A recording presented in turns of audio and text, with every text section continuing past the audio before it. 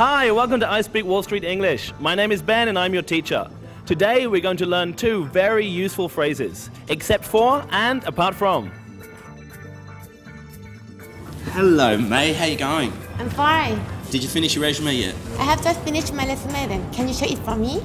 Are you happy with it? I'm happy with it apart from the introduction. Introduction. Why? What's wrong with your introduction? I think it's too long.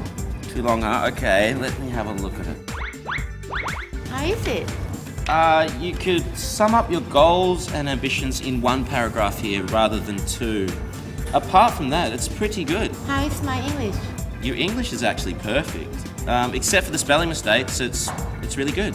Do you think I will get the job? May, believe in yourself. Be confident. You'll be fine. Okay, I try my best. Today we learned how to use except for and apart from. It's perfect except for a few spelling mistakes, or apart from the spelling, it's fine, mean that her resume is okay, she just needs to change the spelling.